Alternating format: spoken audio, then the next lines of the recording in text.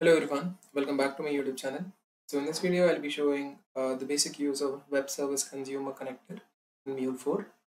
So before we begin, the AnyPoint connector for Web Service Connector, like which is known as the Web Service Consumer Connector, consumes a SOAP web service from Mule application to acquire data from an external source.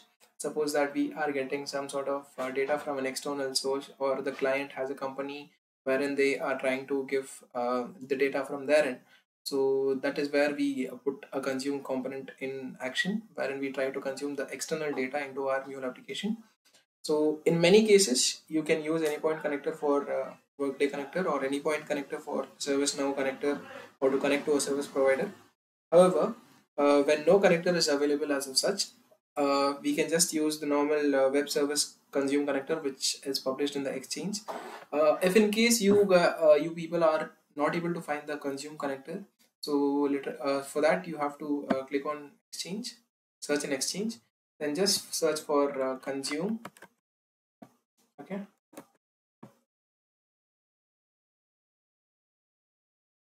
Okay. You can see something as web service consumer. Double click on that. Click on add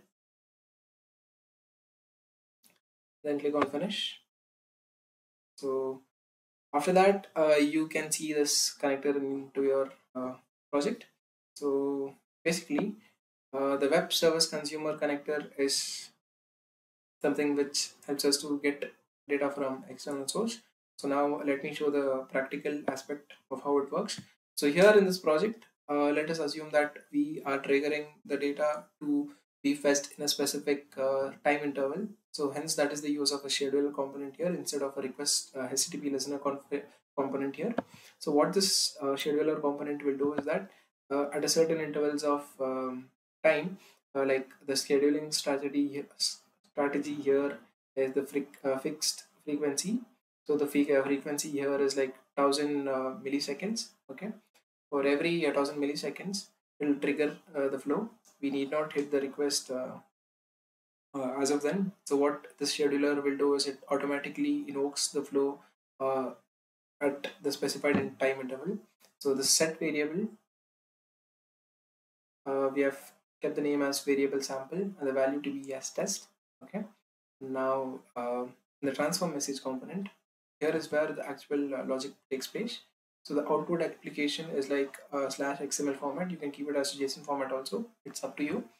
Uh, and here is the sample uh, uh, SOAP API um, URL like HTTP SOAP uh, the service mule org.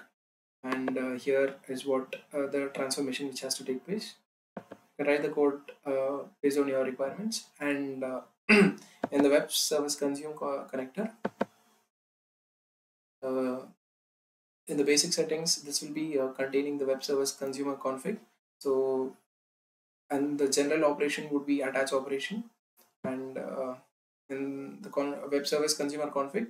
So here I've just uh, put the demo uh, web, uh, web service values like the SOAP version and you also get various versions like SOAP 11, SOAP 12 based on your project, and then um, WDSL location, service, port, address. You will uh, get this all from uh, the project and just click on OK.